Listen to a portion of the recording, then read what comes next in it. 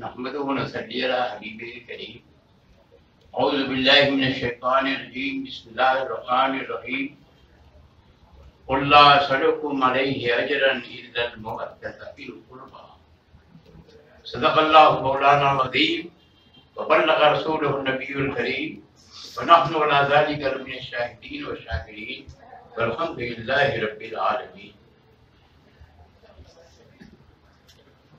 कि मेरे दिल की तमन्ना इलाही भर है कि मेरे दिल की तमन्ना इलाही भर आए कि ज़िंदगी में मदीना मुझे नज़र आए। इलाही दिल बता कर कि जिसमें काबा हो, नज़र को दे कि मदीना मुझे। इरशाद रब्बानी होता है। कोई किसी काम में मेहनत करता है तो उसकी उजरत होती है। और ड्राइवर है उसकी भी एक उजरत है, तनख्वाह है। जिस काम में कोई मेहनत करता है, उसकी उजरत होती है। तो सहाबा करते हैं, बारगाह नबूवत में कि, या नबी अल्लाह, आप हमारे लिए कांटों पे चले। तौहीद का दर्द देने के लिए, अपनी रसालत का कलमा पढ़ाने के लिए राह हक दिखाने के लिए, आप अहले ताइफ ने पत्थरों की बारिशें की। आपने कितनी जाफिसानी की, कितनी मेहनत की। तो हम आखिर आपको इसका क्या इसकी क्या उजरत है? तो कुरान अजीम की आयत मुकद्दस का नाजिल होती है। महबूब, आप फरमा दो कि मैं तुमसे अपनी तबलीग रिसालत का कोई हक नहीं चाहता। अगर कोई बात चाहता हूँ तो बस इतनी है कि मेरे हाथ से तुम मोहब्बत कुरान का। और ये भी अंदाज़ा करो, रब का कलाम है बड़े माना पैदा हो सकते हैं। इज़्ज़त मुवद्दता फरमाया कि मेरी आज से मोहब्बत करो।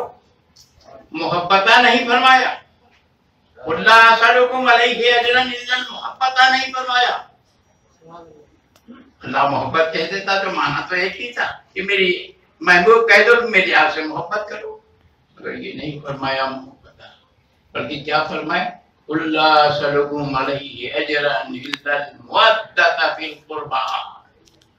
मोहब्बत किसे कहते हैं?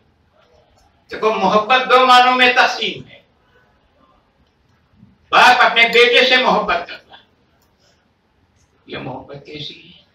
बेटा छोटा है। छोटे पन होने की वजह से मोहब्बत होती है। तो मोहब्बत वहाँ भी बोला गया। तो क्या अले रसूल की मोहब्बत? उन्हें छोटा समझ करके मोहब्बत करो। एक मोहब्बत ये होती है कि छोटा अपने बड़े से मोहब्बत करता है। तो मोहब्बत दोनों जगह इस्तेमाल है।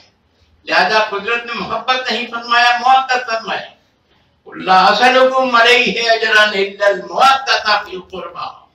ये रसूल, कह दीजिए कि मैं तुमसे अपनी तबलीग रसालत का हक नहीं चाहता, बल्कि मोहब्बत करो। मोहब्बत उस मोहब्बत को कहते हैं कि जो तालीम के साथ